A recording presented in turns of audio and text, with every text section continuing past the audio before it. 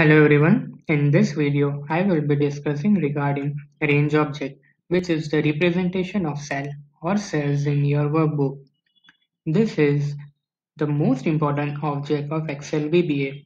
Here I will discuss different ways of giving range, selection function, clear function and count property of range.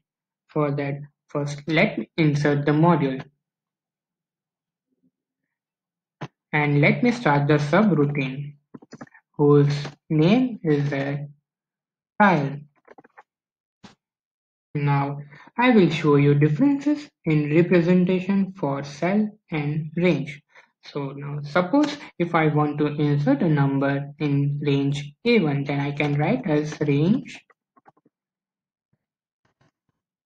A1 dot value equals to 1 and suppose if I want to insert a number in cell 1 comma 1 then I can write it as cells 1 comma 1 dot value equals to 2 now let me run this code and show you. Inserting the one number in range a1 and inserting two number in cell 1 comma 1. Now both of these codes are same. Second way of representation is very useful when you are looping. Now let me just delete this.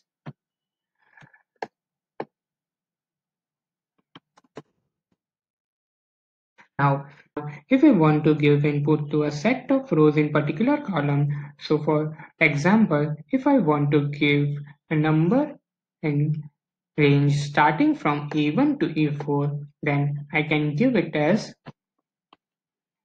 range A1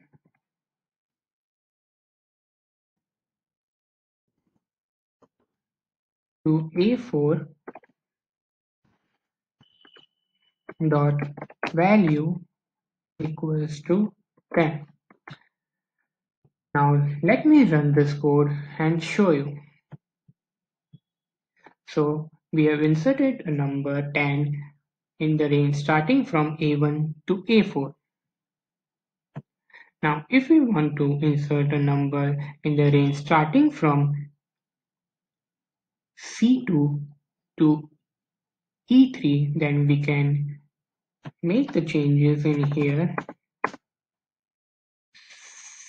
C2 to E3 and let me run this code. So it has inserted a number in the matrix 2 cross 3 that is 2 rows and 3 columns. Now there is one other way of representing uh, the range. In this, we have to declare a parameter and then give a range to that parameter. So let me first define a variable test as range and set. So if we want to give range to any parameter we have to write set and then we can give a range to that parameter. So range say a1 to d4 so a1 to d4 now i can insert the number in this range. So i can do it as test dot value equals to 3. Now let me run this code.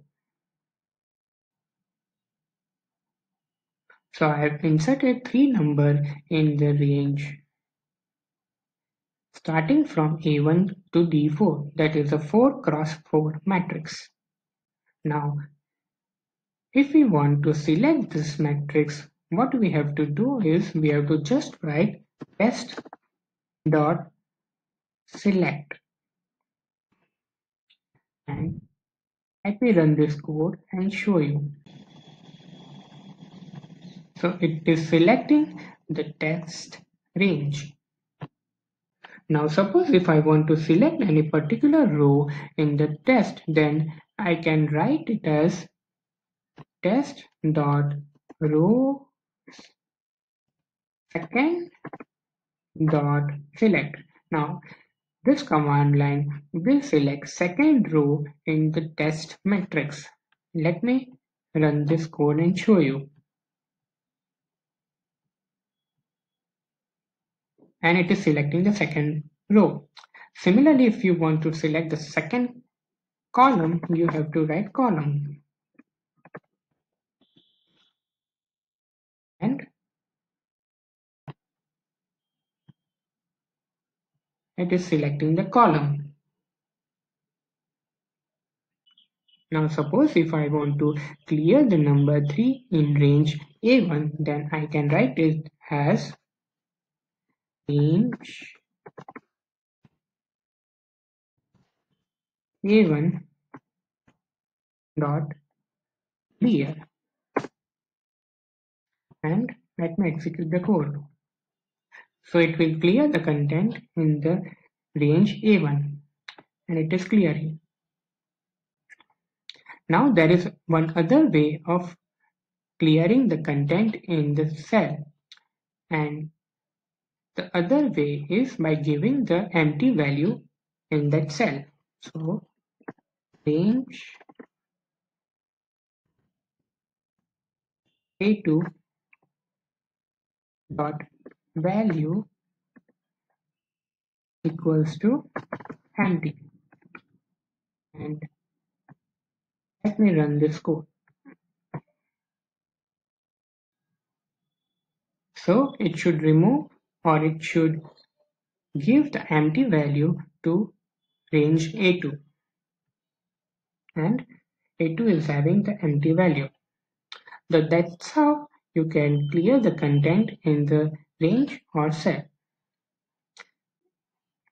So let me first delete this code and if you want to clear the content of all the cells then you can write it as cells dot clear and this will clear the entire worksheet.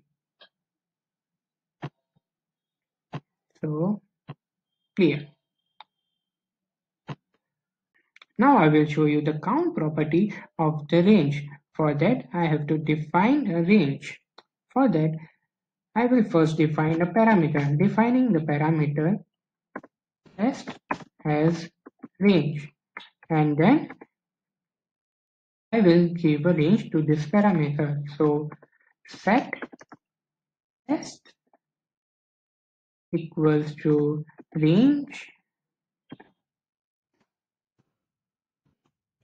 A1 to D4 and then let me insert a value in this range. Test dot value equals to 8 now I want to Calculate the total number of cells that are there in test range and I will show that total number as a message. So msg box test dot count. Let me run this code and show you. So count, I'm inserting the value and then it is counting the total number of cells that are there and there are sixteen cells in the matrix that I have defined. Now if you want to count the total number of rows then you can write it as rows dot count